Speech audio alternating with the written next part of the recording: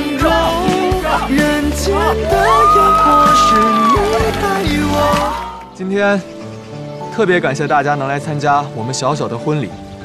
之所以用这种形式，是想把我们的快乐传递给大家。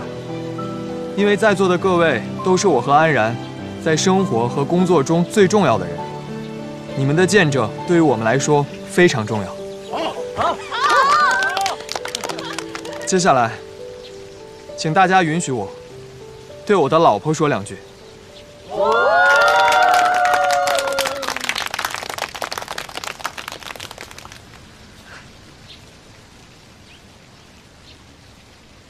安然。在遇到你之前，我的生活里不能没有音乐。发生争执的时候，我只能选择逃避。我习惯被一对耳机束缚在自己的世界里。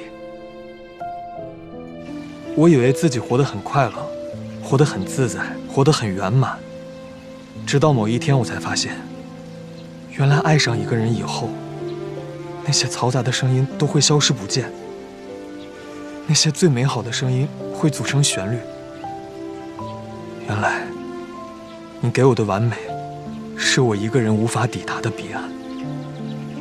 再一次和你相遇，和你相知，我发现，我竟然还是会有第一次遇见你的怦然心动。你好像永远都是那个校园时代的女神，那样阳光，那样美好。谢谢你，谢谢你不断的为我阻隔那些不美好。谢谢你把那个躲在耳机后面的男孩拉到了阳光底下。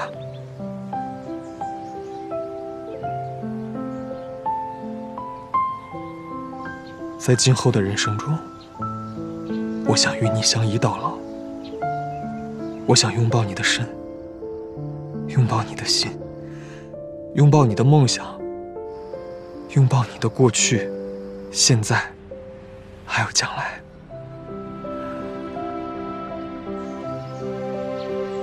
安然，你愿意让我站在你的身边吗？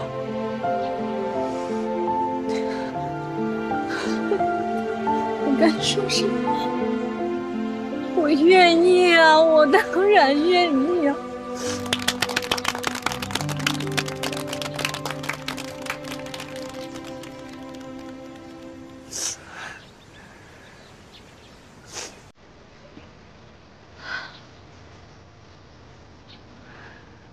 我从来都没有想过，自己还可以成为谁的力量。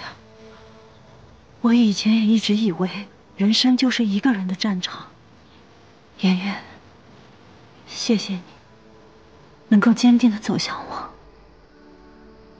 这个世界上有一种英雄主义，叫做明知婚姻艰难，却依然心向往之。我现在终于理解了这种英雄主义。是因为你，是因为你的爱，你的包容，让我终于有了这种勇气。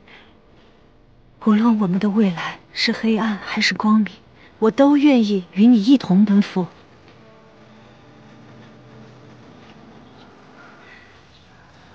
严先生，你愿意把我们年少时的错过换成一生的陪伴吗？我愿意。